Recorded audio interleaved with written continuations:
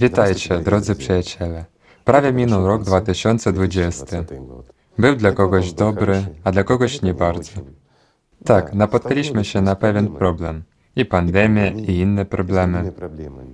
Ale musimy przyznać, że również w nim było dużo dobrego. Wszakże trudności są dane nam po to, abyśmy się rozwijali, abyśmy uczyli się je pokonywać i w żadnym wypadku się nie poddawać. Nowy rok zawsze kojarzy nam się z nadzieją na coś nowego, coś dobrego. Ale żeby to nowe i dobre powstało, nam trzeba to robić.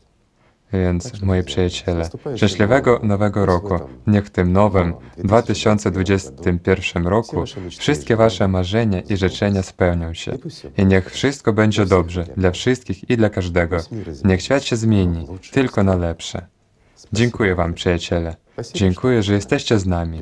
Miłości, pokoju, szczęśliwego nowego roku, przyjaciele. Szczęśliwego nowego roku.